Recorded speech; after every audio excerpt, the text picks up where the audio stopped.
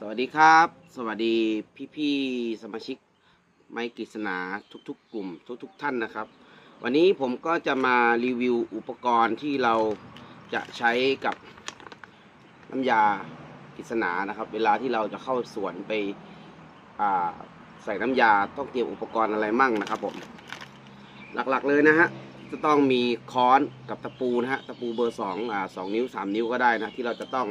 ตอกเอาไว้กับต้นกฤษณา พื่อที่เราจะแขวนเอาไว้อย่างนี้นะฮะแขวนเอาไว้นะครับผมแล้วเราก็จะเปิดก๊อกตรงนี้นะฮะเปิดก๊อกตรงนี้แล้วก็ใช้สายตัวนี้ขันเข้าไปต่อลงมานะครับผมตรงนี้ก็จะมีวอลลุ่มปรับน้ำยาให้ออกเร็วออกช้านะครับผมตรงนี้นะฮะจะเป็นบังคับนะครับผมส่วนปลายของเขาจะเป็นหัวแหลมๆอย่างนี้นะที่จะแทงเข้าไปในลำต้นนะครับผมอ่าก็จะมีแยกออกมาสองสายเนาะ ทีนี้อุปกรณ์ก็ต้องมีสว่านมือที่ใช้กับแบตเตอรี่นะฮะเราก็จะเจาะลำต้นลึกประมาณ 10 เซน 15 เซนแล้วแต่นะครับ ดอกสว่านก็เป็นมีหลายแบบเนาะแบบเจาะไม้ 5.5 มิลนะครับแต่ของผมจะใช้เป็นหกเหลี่ยมนะครับ ผมอย่างนี้เข้าไปแล้วก็เจาะเจาะให้สุดนี่เลยฮะอย่างน้อยต้องได้5เซนถึง 10 เซนนะครับ ผมเพื่อที่เราจะใส่อ่านี่นะฮะ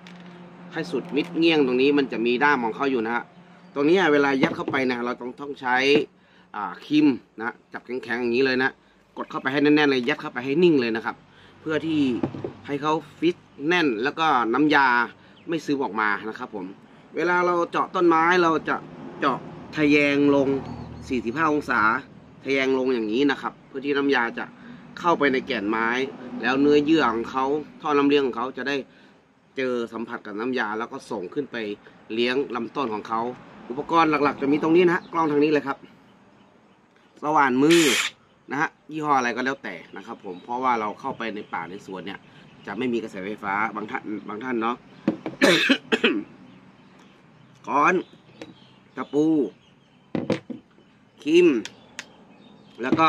ดอกสว่านนะฮะเบอร์ห้าจุดห้าจุดห้ามิลนะครับผมที่จะใช้กับ สายของเรานะครับผมน้ำยากฤษณาครับอ่านี่ผมบอกเลยนะฮะราคาผมจะแจ้งไว้เลยว่า ถ้าเอา 1 ลิตรลิตรละ 700 ถ้าเอา 3 ลิตรขึ้นไปนะจะเป็น 650 นะฮะถ้าเอา 10 ลิตรขึ้นไปจะเป็น 600 แล้วถ้ามากกว่านั้นจะเป็น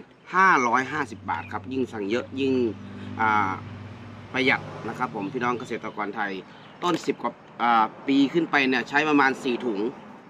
คือ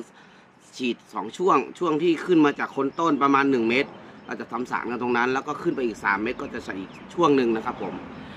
พี่น้องท่านไหนสนใจก็ติดต่อมาที่หมายเลข 086 046 4167 นะครับผมเน้นโทรครับ เพราะว่าบางครั้งอาจจะไม่ค่อยได้ตอบแชทนะบางเพื่อนผมเต็ม 5,000 คนอาจจะไม่ได้เข้าไปดู messenger นะ ผมเน้นโทรนะครับผมขอบคุณครับ